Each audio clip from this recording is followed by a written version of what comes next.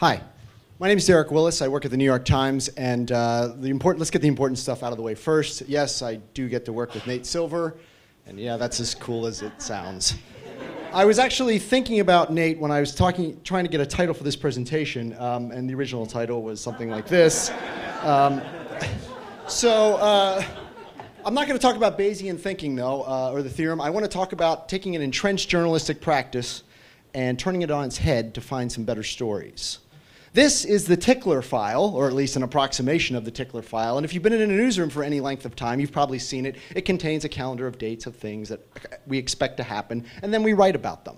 Uh, it's not a terrible thing, but um, uh, well, it leads to terrible things, such as every January 1st or 2nd, every year, the Washington Post, my hometown paper, writes a story that can be described as the year in murder. Every year. Now, if important things happen in murder in the previous year, the Washington Post already reported on it. So why do we need to do this?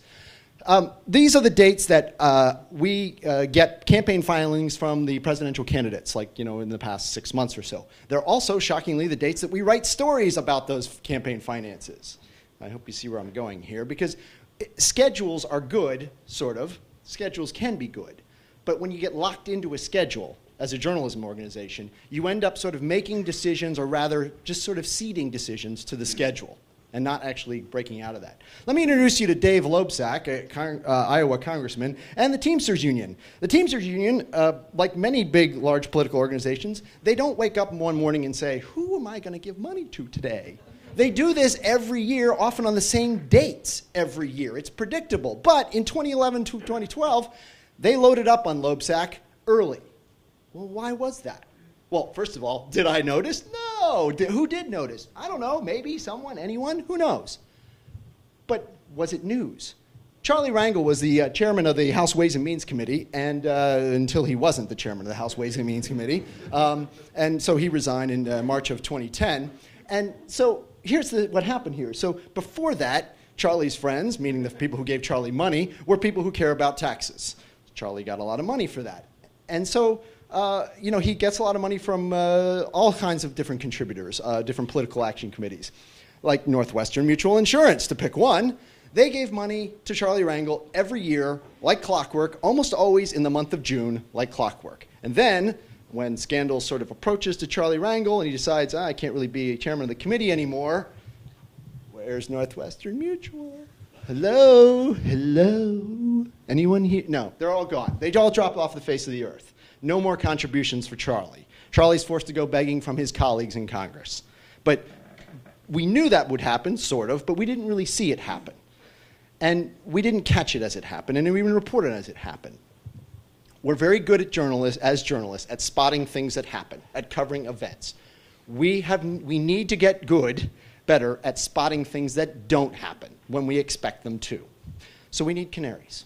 Uh, canaries are great because they serve a very useful purpose. You train them, you know, when you die, uh, let's get out of the mine.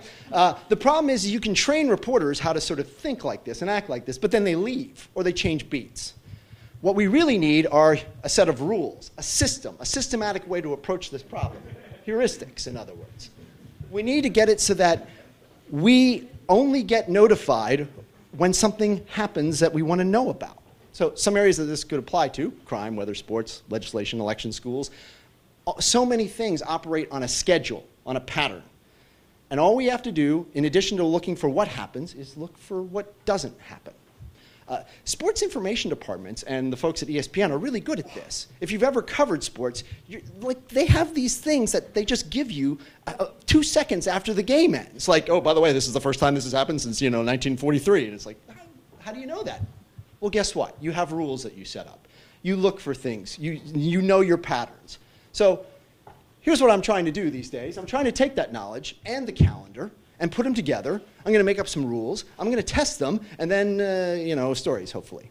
So, like the, the delivery, the notification process, that's not the problem. We know how to notify ourselves of things, right? That's not the problem. The problem is the system. We need to figure out how to build a system that tells us when things don't happen. We need to get better at that. Thank you very much.